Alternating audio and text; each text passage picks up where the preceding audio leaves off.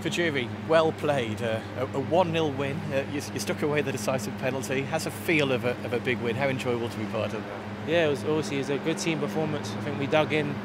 We had spells where we was under pressure and spells where we played really well. But overall, as a team, I think we showed good character to, to get the result today that we deserve. So, yeah, good day.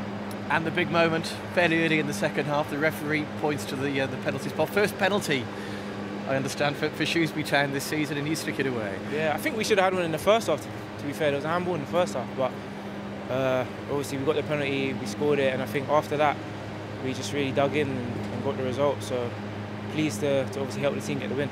What are you thinking when you put the ball on the uh, the penalty spot? Just trying to score, just get over as quick as possible, put it in the net. Thankfully, it's gone in, and then after that, the boys done really well to, to hold on for the win. Yeah.